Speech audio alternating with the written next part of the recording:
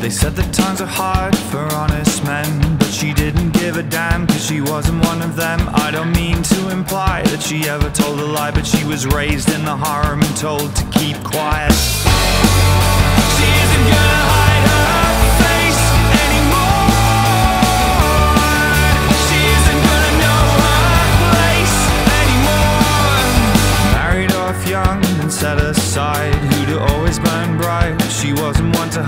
She taught herself languages and poetry. She taught herself to speak so she could set herself free. Look on her work, see mighty men.